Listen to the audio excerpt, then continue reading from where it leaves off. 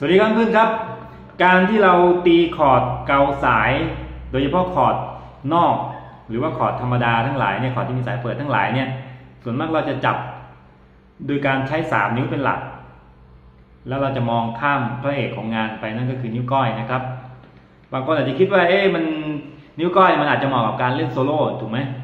เพราะว่าการจับคอร์ดจับคอร์ด G อย่างนี้ E minor A minor D นิ้วก้อย แทบจะไม่ได้ทำอะไรเลย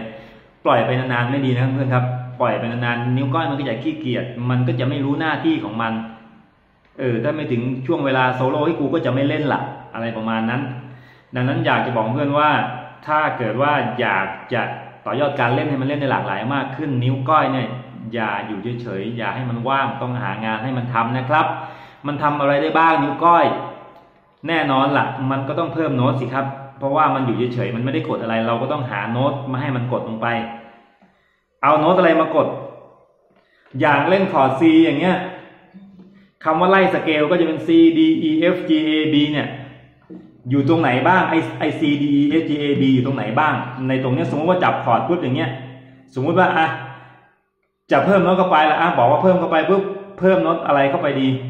ทุกอย่างมันก็โดนจับไปหมดแล้ว C อันนี้ก็ E G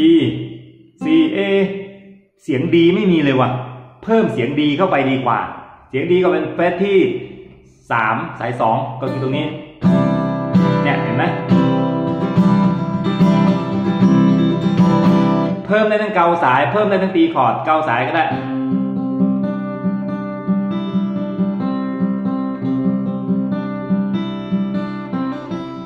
อ่าหรือจะตีคอร์ด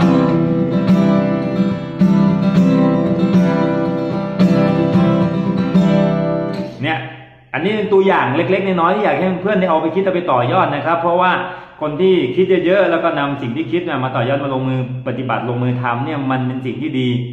ดีมากๆเลยแหละเพราะว่าการฝึกกีตาร์มันไม่ได้ฝึกแค่เรื่องของกายภาพไม่ได้ฝึกแค่เรื่องของมือซ้ายมือขวาอย่างเดียวมันจะฝึกในเรื่องของความคิดของไอเดีย การประยุกต์ต่าง ๆ ด้วยนะครับ